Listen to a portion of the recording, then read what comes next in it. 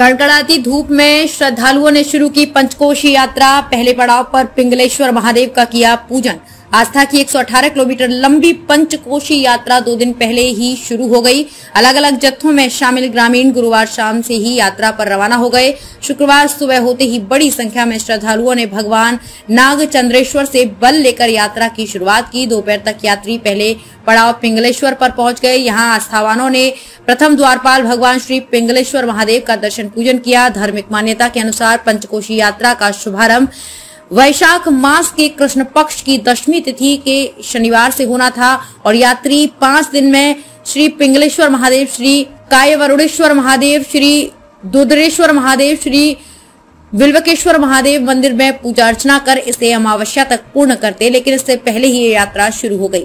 भजन कीर्तन करते हुए निकले श्रद्धालु, प्रतिवर्ष की तरह इस साल भी स्वयंसेवी व सामाजिक संस्थाओं द्वारा पंचकोशी यात्रियों की अलग अलग तरह से सेवा की जा रही है। नाग चंद्रेश्वर मंदिर से निकलने के बाद यात्री पट्टी बाज़ार गोपाल मंदिर छतरी चौक, कंठाल, निजातपुरा, कोयला फाटक, हीरा मिल की चौल से आगे बढ़ते हैं। इस पूरे मार्ग पर यात्रियों को पोहे, ककड़ी, ठंडा पानी के अलावा भोजन पैकेट वितरित किए जा रहे हैं। यात्रा में बच्चों के साथ ही बूढ़े भी शामिल हैं, जो दैनिक उपयोग का ज़रूरी सामान गठरी में बांधकर भजन कीर्तन करते हुए पड़ाव की ओर बढ़ रहे हैं। प्रशासन की व्यवस्थाएँ अधूरी। पहले पड़ाव पिंगलेश्वर पर प्रशासन और नगर निगम द्वारा की जाने वाली तैयारियाँ अधूरी थी। हालाँकि यात्रा में शामिल लोगों को प्रशासन की तैयारियों से कोई सरोकार नज़र नहीं आया। पंचकोश यात्रा का महत्व तो बता दें कि पूर्णिमा से वैशाख मास प्रारंभ हो जाता है। वैशाख मास का महत्व कार्तिक और माघ माह के समान है। इस मास में जल दान कुंभ दान का विशेष महत्व है। वैशाख मास स्नान का महत्व अवंती खंड में है।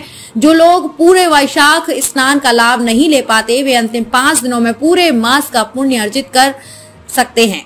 वैशाख मास एक पर्व के समान है। इसके महत्व के चलते कुंभ भी इसी मास में आयोजित होता है। पंचकोशी यात्रा में सभी ज्ञात अज्ञात देवताओं की प्रदक्षिणा का पुण्य इस पवित्र मास में मिलता है। सिर पर गठरी, मुँह में भगवान का नाम।